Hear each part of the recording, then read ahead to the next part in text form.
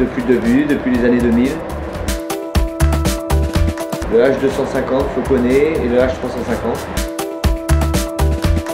Je suis plus floconnais que granulé. 3 comme à la maison, exactement pareil, on ne change rien, matin, midi, soir. 2, milieu de matinée, milieu d'après-midi. Je dirais la confiance euh, et l'expérience.